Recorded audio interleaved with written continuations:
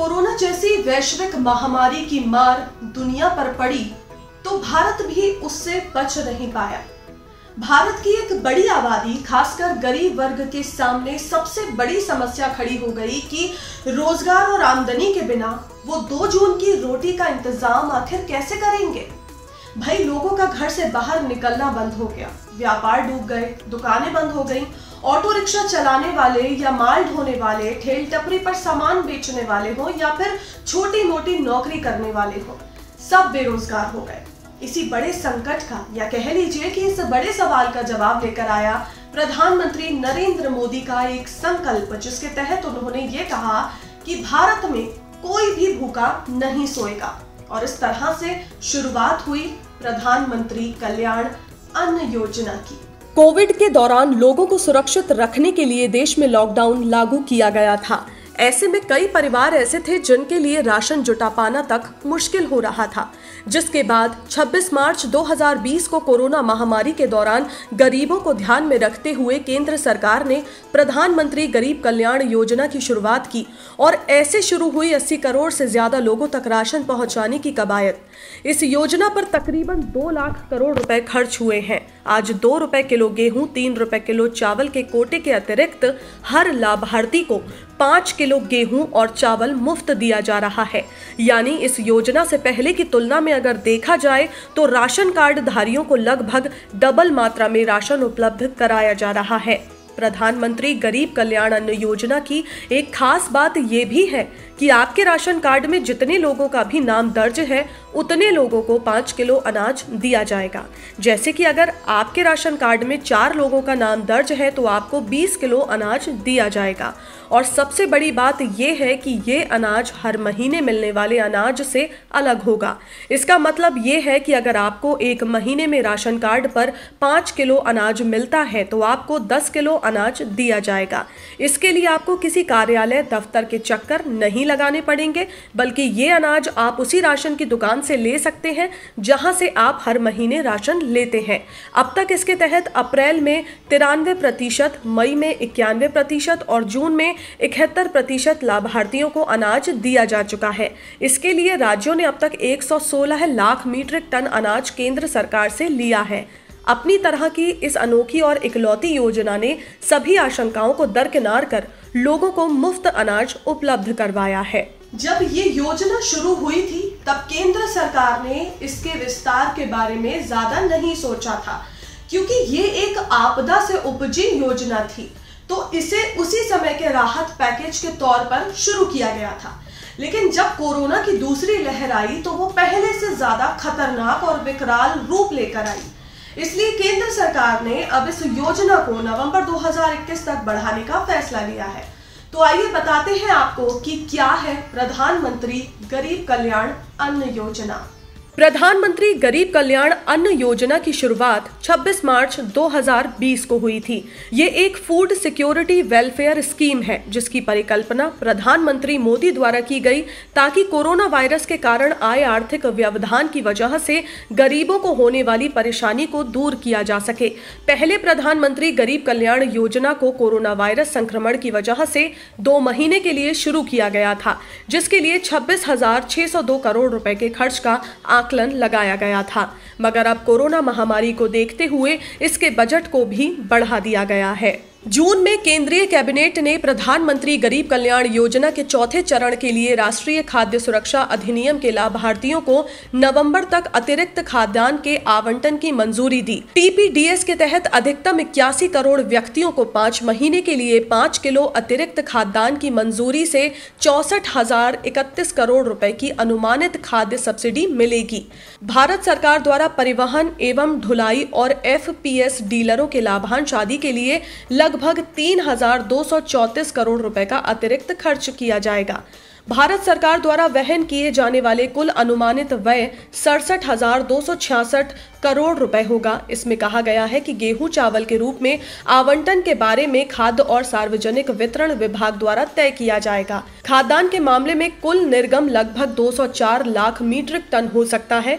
पिछले साल लगभग 948 लाख मीट्रिक टन खाद्यान्न आवंटित किया गया था, जो कि कोविड के दौरान खाद्य सुरक्षा सुनिश्चित करने के लिए सामान्य वर्ष से 50 प्रतिशत अधिक है। अब लगभग 80 करोड़ एनएफएसए लाभार्थियों को अतिरिक्त 204 लाख मीट्रिक टन खाद प्रधानमंत्री गरीब कल्याण योजना के माध्यम से दिया जाएगा। इस योजना पर होने वाला पूरा खर्च केंद्र सरकार द्वारा वहन किया जाएगा। प्रधानमंत्री गरीब कल्याण योजना के अंतर्गत राज्यों और केंद्र शासित प्रदेशों द्वारा एफसीआई डिपो से तिरसठ लाख मीट्रिक टन से अधिक खाद्यान्न लिया गया है। केंद्र सरकार द्वारा मई 2021 में लगभग चौतीस राज्य और केंद्र शासित प्रदेश देशों के 55 करोड़ एनएफएसए लाभार्थियों को खाद्यान्न वितरण किया गया है। ये खाद्यान्न वितरण लगभग 28 लाख मीट्रिक टन है।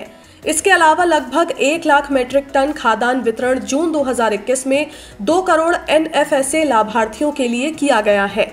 मई और जून 2021 में राष्ट्रीय खाद्य सुरक्षा अधिनियम के अंतर्गत 90 प्रतिशत और 12 प्रतिशत एन के लाभार्थियों को खाद्यान्न वितरित किया गया है, जिसके लिए सरकार द्वारा तेरह हज़ार करोड़ रुपए की राशि खर्च की गई है। इस योजना के अंतर्गत 7 जून 2021 तक भारतीय खाद्य निगम द्वारा सभी 36 राज्यों और केंद्र शासित प्रदेशों को उनहत्तर एल की आपूर्ति की जा चुकी है। इनमें से 13 राज्यों और केंद्र शासित प्रदेशों द्वारा मई जून 2021 के आवंटन का पूरा उठान भी किया जा चुका है। जिसमें अंडमान और निकोबार द्वीप समूह, आसाम, बिहार, छत्तीसगढ़, दमन, दीव, दिल्ली, गुजरात, हरियाणा, हिमाचल प्रदेश, जम्मू कश्मीर, झारखंड, कर्नाटका, लद्दाख, मध्य प्रदेश, महाराष्ट्र, मणिपुर, ओडिशा, राजस्थान, सिक्किम, तमिलनाडु, उत्तर प्रदेश, उत्तराखंड और पश्चिम बंगाल शामिल है। पूर्वोत्तर के पाँच राज्यों द्वारा भी आवंटन का सौ प्रतिशत उठान कर लिया गया है। इन पाँच राज्यों में अरुणाचल प्रदेश, मेघालय, मिजोरम, नागालैंड और त्रिपुरा शामिल है। मणिपुर और असम द्वारा भी खादान उठान का काम चल रहा है और जल्द 100 प्रतिशत उठान इन राज्यों द्वारा भी कर लिया जाएगा। जैसे कि आप सभी लोग जानते हैं कि इस योजना के अंतर्गत देश के सभी गरीब राशन कार्ड धारकों, परिवारों को सरकार द्वारा नवंबर तक पाँच किलो गेहूँ या पाँच किलो चावल मुफ़्त में सरकार द्वारा मुहैया कराया जाएगा। तो आपको बता दें कि इन पाँच महीनों के लिए सरकार द्वारा 201 लाख टन का अनाज आवंटित किया गया है और इनमें से राज्यों द्वारा नवासी लाख टन अनाज उठाया गया है और इस योजना के तहत राज्यों द्वारा गरीब लोगों को साठ लाख टन अनाज वितरित किया गया है। इस योजना के अंतर्गत जुलाई महीने में लाभार्थी लाभार्थियों को 35 लाख टन अनाज दिया गया है और कुल लाभार्थियों की संख्या इकहत्तर करोड़ है। इसी तरह अगस्त महीने में भी लाभार्थियों को 24 लाख टन अनाज वितरित किया गया है और कुल लाभार्थियों की संख्या उनचास करोड़ है। वैसे इस योजना की ज़रूरत पड़ी क्यों? तो इसका सीधा सा जवाब ये है कि अगर इतिहास उठा के देखें तो भारत में वैश्विक संकट और महामारी से इतनी मौतें नहीं हुई हैं जितनी की भुखमरी के कारण हुई है। ऐसे में जब एक महामारी मुँह बाय खड़ी हो गई, रोज़गार के साधन बंद हो गए, गरीब तबके के बचाए हुए कुछ पैसे भी जब कम पड़ने लगे तो ऐसे में वो क्या करेगा? कैसे कमाएगा और कैसे दो वक्त का खाना जुटाएगा? बस इसी को ध्यान में रखते हुए सरकार ने गरीब कल्याण अन्न योजना की शुरुआत की।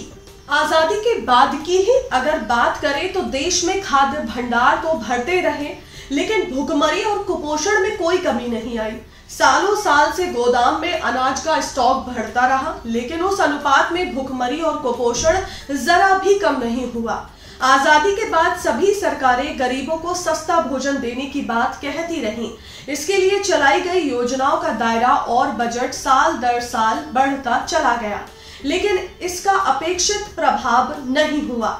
इसका एक बड़ा कारण था प्रभावी डिलीवरी सिस्टम का ना होना। मगर 2014 के बाद स्थिति बदल गई और 2014 के बाद नए सिरे से काम शुरू हो गया। करोड़ों फर्जी लाभार्थियों को सिस्टम से हटा दिया गया।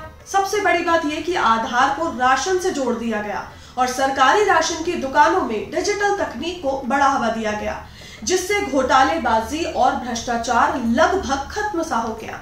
इससे अब चाह कर भी कोई गरीब के हक को नहीं मार सकता। इस योजना से जुड़े लोगों के लिए एक अच्छी बात यह भी है कि विभाग द्वारा प्रतिकूल स्थितियों को देखते हुए इस योजना का नवंबर के बाद भी विस्तार किया जा सकता है। केंद्र सरकार सामाजिक सुरक्षा के लिए इस योजना की अवधि को बढ़ाने का प्लान बना रही है। इस योजना के अंतर्गत कैश ट्रांसफ़र स्कीम को भी इसमें शामिल किया जा सकता है।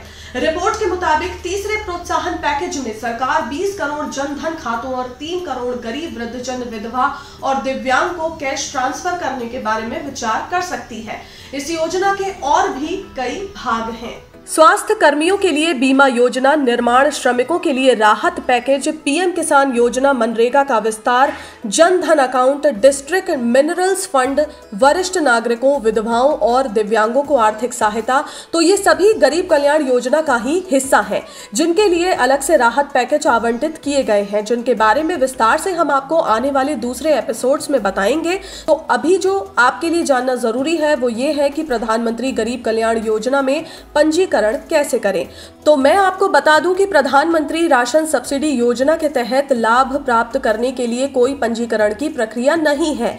देश के जो इच्छुक लाभार्थी इस योजना के अंतर्गत दो रुपए प्रति किलो की दर से गेहूँ और तीन रुपए प्रति किलो की दर से चावल प्राप्त करना चाहते हैं तो वो राशन की दुकान पर जाकर अपने राशन कार्ड के ज़रिए प्राप्त कर सकते हैं। एक और ज़रूरी बात ये कि पूरे भारतवर्ष में कई सारे संस्थान ऐसे हैं जिन्होंने इसके लिए डिक्लेरेशन भर दिया है, लेकिन काफ़ी सारे संस्थान ऐसे भी हैं जिन्होंने अभी तक ईसीआर जमा नहीं कराया है, जिसकी वजह से उन्हें गरीब कल्याण योजना का लाभ नहीं मिल पा रहा है। तो वो सभी संस्थान जिन्होंने ईसीआर अभी फ़ाइल नहीं किया है, वो जल्द से जल्द ईसीआर फ़ाइल करके इस योजना का लाभ उठा सकते हैं। वो सभी सदस्य जो ये योजना लागू होने से पहले ही ईसीआर भर चुके हैं, उन्हें भी इस योजना का लाभ मिलेगा। इसी के साथ कई सारे ऐसे सदस्य भी हैं जिन्होंने अपना आधार के अपडेट नहीं किया है। विभाग द्वारा ऐसे सदस्यों से संपर्क संपर्क करके अपना आधार अपडेट करने की जानकारी दी जा रही है। तो वो सभी सदस्य जिन्हें आधार केवाईसी अपडेट ना होने की वजह से स्कीम का लाभ नहीं मिल पा रहा है, वो जल्द से जल्द अपना आधार केवाईसी अपडेट करवाएँ और स्कीम का लाभ उठाएँ। तो पीएम गरीब कल्याण योजना से जुड़ी नई अपडेट्स ये है कि देश के जो गरीब लोग लॉकडाउन की वजह से मुश्किलों का सामना कर रहे थे, उनको अब केंद्र सरकार बैंक खाते में आर्थिक सहायता देने के लिए पैसे भेज रही है। वित्त मंत्रालय ने 22 अप्रैल तक प्रधानमंत्री गरीब कल्याण योजना के तहत 33 करोड़ से अधिक गरीबों को इकतीस करोड़ रुपए की वित्तीय सहायता दी। प्रधानमंत्री गरीब कल्याण अन्न योजना के तहत राशन वितरण का काम भी नए सिरे से शुरू कर दिया गया। जगह जगह अन्न महोत्सव मनाया जा रहा है। तो कहने का मतलब ये है कि प्रधानमंत्री गरीब कल्याण अन्न योजना के माध्यम से सरकार गरीब लोगों, मजदूरी करने वाली महिलाओं, विधुर, शारीरिक रूप से दिव्यांग, एसएचजी प्रवासी श्रमिक गरीब लोगों की मदद करने की कोशिश कर रही है, जिसको पूरा करने के लिए इस योजना के तहत केंद्र सरकार गरीबों, किसानों और महिलाओं के लिए निःशुल्क अनाज वितरण के साथ ही खातों में पैसा देने का प्रावधान भी कर रही है। वैसे बाकी योजनाओं की तरह थोड़ी बहुत खामियाँ इस योजना में भी है। घोटालेबाज ई सिस्टम होने के बावजूद सेंधमारी का रास्ता कहीं ना कहीं से निकालकर गरीबों को चूना लगा ही देते हैं। लेकिन क्योंकि अब हर नागरिक अपने अधिकारों के लिए जागरूक है तो इसमें होने वाली धांधली की शिकायतें भी हो रही हैं और बीच में गरीबों का हिस्सा खाने वाले अधिकारियों पर अब ज़बरदस्त तरीके से कार्यवाही भी हो रही है। लेकिन फ़िलहाल के लिए आप इस बात से खुश हो सकते हैं कि अब देश के गरीब तबके के नागरिक कम से कम नवंबर तक इस योजना का लाभ उठा सकते हैं। मतलब अगर कोरोना की तीसरी लहर आ भी जाए और फिर से लोगों के काम धंधों पर असर पड़े तो कम से कम भुखमरी के हालात पैदा नहीं हो पाएँगे। अगर हमसे इस योजना में कुछ छूट गया है तो आप हमें कमेंट करके उसकी जानकारी दे सकते हैं। अगर आप कुछ पूछना भी चाहते हैं या इस योजना से जुड़ी आपकी क्षेत्र की कोई शिकायत हमसे आप करना चाहते हैं तो आप हमें बता सकते हैं। साथ ही आगे आप हमसे किस योजना की जानकारी लेना चाहते हैं, वो भी आप हमें कमेंट में बता सकते हैं। तो फ़िलहाल इस एपिसोड में बस इतना ही। अगली बार फिर ऐसी ही सरकारी योजना की पूरी जानकारी लेकर मैं फिर से हाजिर होंगी। तब तक स्वस्थ रहिए और अपना ध्यान ज़रूर रखिए। नमस्कार।